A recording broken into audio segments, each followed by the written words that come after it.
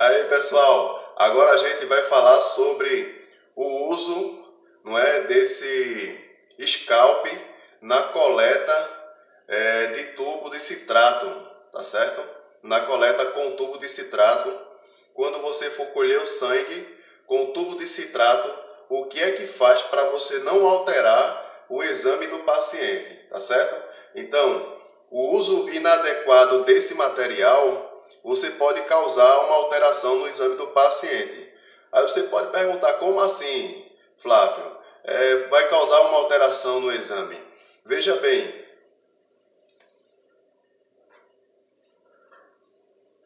esse daqui é o tubo de citrato, tá certo? Tubo de citrato. Esse aqui é o tubo de citrato, tá certo? Ele contém, eu não sei se dá para vocês verem, mas ele contém um aditivo aqui no fundo, tá vendo? Ele tem um aditivo que é para o sangue não coagular dentro do tubo, tá certo?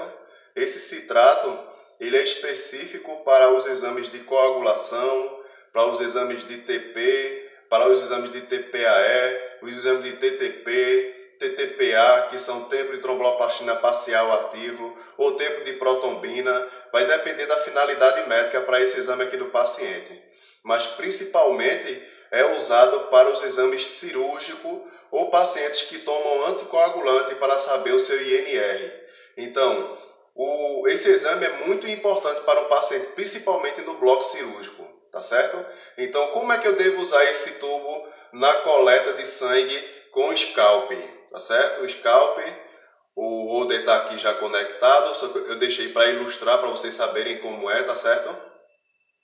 Quando, vocês, é, quando é, você fizer a punção no braço do paciente lá, fizer a punção lá, tá certo?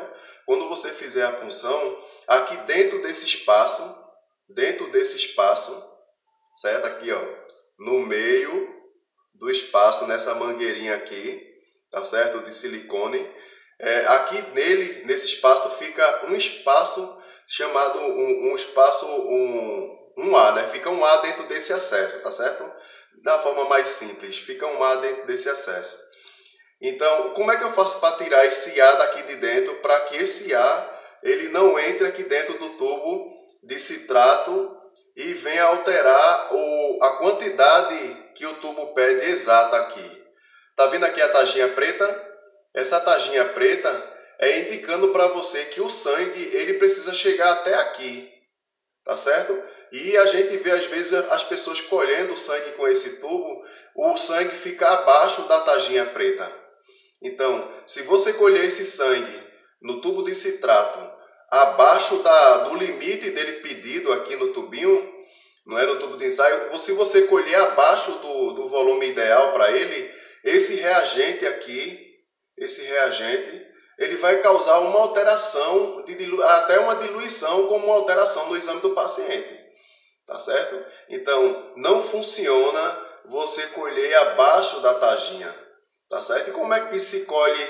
Como é que eu sei que eu colhi errado esse tubo? Quando você for fazer a coleta com scalp, com tubo de citrato, você primeiro, antes, usa um tubo desse de citrato para poder fazer lá a retirada do ar desse espaço, tirada do ar. Quando você vê que o ar saiu aqui do espaço e o sangue chegou no tubo, você tira esse daqui, descarta ele e faz a coleta desse novo tubo que vai ser feito o exame do paciente.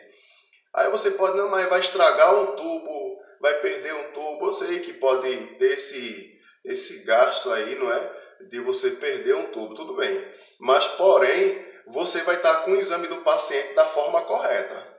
Porque se você não tira o, o, o ar, o ar de dentro dessa mangueirinha aqui, né, desse acessozinho, se você não tira o ar dele, esse ar que você puxou aqui, esse ar que você puxou, ele vai entrar dentro do tubo. Então, essa quantidade de ar que entrou dentro do tubo interfere na, no limite ideal de sangue do exame do paciente. Então, o biomédico não vai conseguir fazer o exame ideal. O laboratório não vai ter uma precisão no exame do paciente. Isso pode causar um erro. Então, flebotomia geral tem todos os detalhes para você aprender sem nenhuma dificuldade, ok? Deus abençoe aí.